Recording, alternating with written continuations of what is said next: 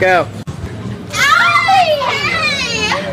We were wondering if you had a girlfriend. Okay, wait, and if you don't, would you like one preferably black?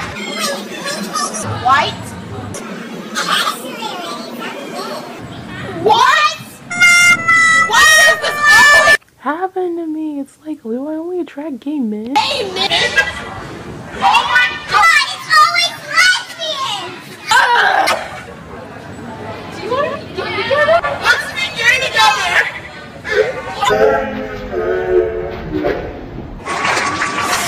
oh my god.